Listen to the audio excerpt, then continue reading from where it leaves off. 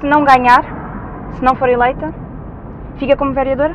Bom, eu vou voltar ao meu programa, Rita, porque eu não posso desperdiçar, por respeito a quem vai ler e quem vai ouvir esta entrevista, eu não posso desperdiçar tempo necessário para uh, transmitir então aos não me vai responder a esta pergunta. A... Mas fica como vereadora se não ganhar as eleições. Bom, Atualmente é vereadora, desde 2013 foi eleita como vereadora. Rita, Rita, eu estive disponível para retomarmos este circuito, uhum. não é para falar de coisas que não têm nenhum então, não, interesse. Pronto, não vai responder. Tem rigorosamente nenhum interesse, muito mas os jornalistas muitas vezes centram-se uh, considerando que o que interessa às pessoas são determinadas questões. Uh, eu não concordo. Uh, então vamos ficar portanto, aqui a bater no mesmo, do, na mesma do, parede. vamos falar de programa, de projetos para a cidade de Lisboa.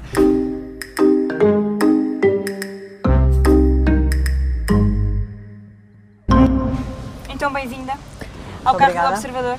Se quiser abrandar, estamos no bairro São João de Brito, não encontra instalação elétrica eh, com estas condições eh, em nenhum outro bairro da, da cidade de Lisboa. Temos que ir devagar porque o, o piso é péssimo. Temos aqui do lado direito o Terminal 2 do aeroporto, temos aqui o sítio onde vive o Sr. António Fernandes, está lá, aliás, como pode ver, e mal seria que o PSD só tivesse uma boa escolha eh, para candidato eh, à Câmara, eh, à Câmara Municipal de Lisboa. E essa dança de nomes é uma coisa que é em grande medida fabricada pela comunicação social Houve confirmações e é absolutamente irrelevante, seguramente que não confirmaram convites de Pedro, de Pedro Passos Coelho por Pedro Passos Coelho, isso garantidamente que não confirmaram. O Carlos Carreira chegou a falar no Garanti e garantidamente, que tivessem sido sondados. Garantidamente que ninguém, garantidamente que não confirmaram o convite por Pedro Passos Coelho. Eu fui anunciada como candidata uh, do PSD à Câmara Municipal de Lisboa em março. Uh, e fui convidada naturalmente antes de março uh, e, é tudo quanto eu respondo a essa pergunta. Mas o único comentário que me ouviu fazer foi repudio generalizações. Uh, foi esse o comunicado que eu fiz e eu repudio generalizações, seja em relação a quem que quer que seja e falou em estigmatização da comunidade Naturalmente, eu não quero que a comunidade jornalística esteja estigmatizada com acusações de que todos os jornalistas são isto ou são aquilo, ou que todos os políticos são isto ou aquilo. Mas por coincidência. E, portanto, uh, é, essas por... generalizações. Mas vamos então para a cidade de Lisboa. Estamos no Marquês de Pombal, sabe que há aqui uma obra. Há aqui, ah, eu não vou, faz, eu não vou fazer mais nenhum comentário visitar, sobre essa matéria. oh, oh, oh, oh, Rita, Rita, Rita, Rita, Rita, Rita, oh, oh, Rita, eu lamento profundamente uh, e manifesto indignação. Eu estou em contacto com todas as pessoas na cidade de Lisboa, sem exceção, hum. e não distingo as pessoas por nenhuma característica dessa uhum. natureza. E, portanto, circulo na cidade de Lisboa e dialogo com as pessoas que estão na cidade de Lisboa, sejam portuguesas, estrangeiras, uh, o que quer que seja, portanto, não há conversas comigo uh, dessa natureza em circunstância alguma. Não acredito numa sociedade em que essas conversas se fazem. Mas já que estamos no Marquês de Pombal e que estamos na Avenida da Liberdade, eh, que há, aqui há, há uns anos teve aqui uma alteração nos sentidos de trânsito, deixe-me dizer que esta alteração não resultou. Ah, Avenida da Liberdade. Vou, vou, vou, vou intervir no Marquês de Pombal, vou intervir na uh, Avenida da Liberdade, vou colocar outra vez a, a Avenida da Liberdade para descer e para subir na íntegra. Nunca se apercebeu do, dos negócios. Uh do Vale Azevedo que estavam a ser feitos durante o, o tempo em que esteve lá. Nunca se percebeu disso? Nem, do, nem de negócios de Vale Azevedo, nem de negócios de Ricardo Salgado, nem de Nada? negócios de José Sócrates. Eh, eu, eu devo dizer-lhe que considero de certa forma a pergunta que a Rita me faz eh, espantosa, não é? Eh, porque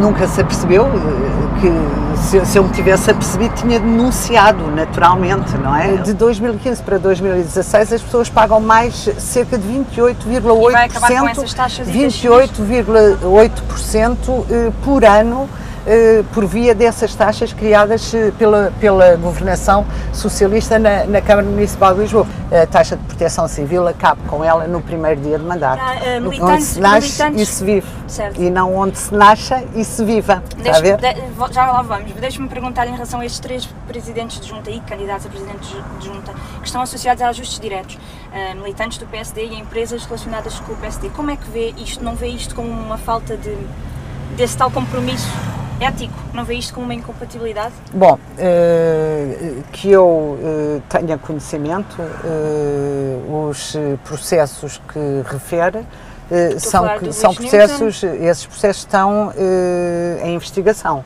Uh, e uh, vamos aguardar pelas conclusões desses processos, uh, mas até para, para o apuramento da verdade, porque eu não conheço esses factos. Mas não vamos esperar, vamos esperar por esses Ou em função processos. da investigação pensam em afastá-los? Ouça, eu não me vou pronunciar sobre essa matéria.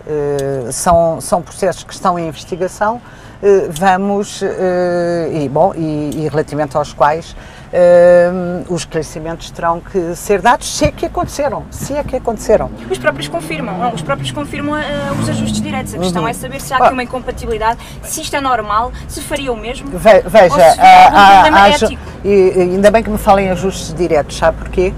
Porque há três meses atrás este Executivo Camarário fez um ajuste direto de 5 milhões e 800 mil euros eh, para uma intervenção numa obra uh, ali na, uh, na, na, colina de São Pedro de Alcântara. Para terminar este assunto, eu queria só falar da questão das viagens à, à China. Eu vou-lhe falar, do, eu vou -lhe falar de outra coisa. mesmo candidato a junta Luís Newton. Diga-lhe diga a mesma coisa, diga-lhe a mesma coisa. O processo. Minha pergunta é só se condena. Está, se condena processo, essa, ouça, não conheço, essa, essa não, não, não, não esse tipo conheço, de ofertas a políticos. não, não conheço.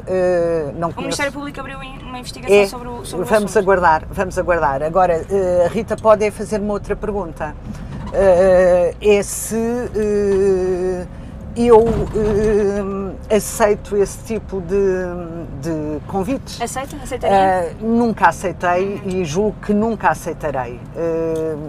mas muitas vezes esses convites servem efetivamente para promover economia e dinamizar economia. Se não Portanto, teria sido mais vantajoso para a direita unir esforços não, não, não tenho uh, essa perspectiva, não, não, não me revejo nessa expressão à direita, não tenho Para essa perspectiva. Acho que o mais importante é, eu sou candidata à Câmara Municipal de Lisboa, tenho um projeto, um programa para, para a cidade de Lisboa. Não, uh, portanto, não houve faltas, não faltei, aliás. Uh, uh, Deixe-me só perguntar para terminarmos questão, este assunto, porque já vi que é, é já, está, já, está, já está encerrado este assunto, deixe-me só te perguntar-lhe. Não sei se, se algum... está, não sei se não me vai perguntar perguntar, se, se o, o observador vez... perguntou-me há, há, quatro meses, está-me a perguntar outra vez. Se, se alguma vez optou por um, ir a, não ir ao Parlamento e ir a uma reunião de optei, Câmara quando optei, eram, quando eram optei, no, no, optei quando foi o orçamento da Câmara. Primeiro é, é preciso uh, atuar nos nós. Uh, uh, a segunda circular, o eixo central e a segunda circular desembocam em nós. O trânsito, como a Rita dizia muito bem, mesmo sendo agosto e a meio da tarde, está insuportável em toda a cidade de Lisboa.